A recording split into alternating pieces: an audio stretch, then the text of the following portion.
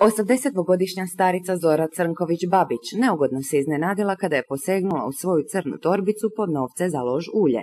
Od 9500 kuna koliko joj je država isplatila mirovinskog duga, u torbici skrivenoj u ormaru spavaće sobe nije bilo niti kune.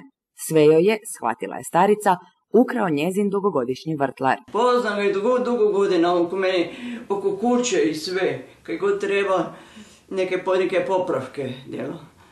Nekad nisam posumnjala da bi on, da bi on ukrao. A upravo se to dogodilo. Naime, u utorak poslje podne jedva pokretna zora pala je pod ko zna koji puta na pod spavaće sobe. Njezin vrtlar baš je sređivao travnjak, pa ga je pozvala u pomoć.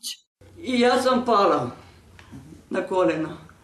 Pa sam zvala da me dođe pomoć u njebe kuhinji.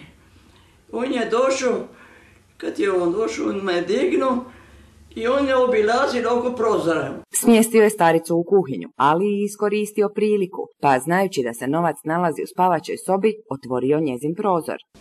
Evo, on je samo tako malo otvorio, vidite, i treba jako, samo to, tek, tek toliko da mogu ući. Da. Da. To je ovako metno iz dojtrama došao. A vidi, a ta taška, bilo ovako ormar otvoriti. Tam su više taške, pa i ova taška bila. Potom je uzeo ljestve, popeo se u sobu i ukrao ženi sve što je posjedovala. Bilo je, a sad je čistih novaca bilo 500, ovaj, 9500 i po 500 kuna. Kada je shvatila da je okradena, Zora je brzo povezala konce. Pozvala je policiju i uputila ih na Zvonka Sopića, svojeg dugogodišnjeg vrtlara. Odmah meni sumnju zašto je prozor otvoren i gdje su ti novci.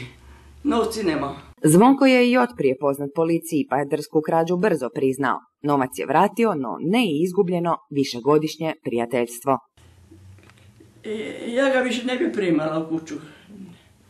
Bojim se ga, znate da se bojiš? Što može lubiti po glavi i svašta.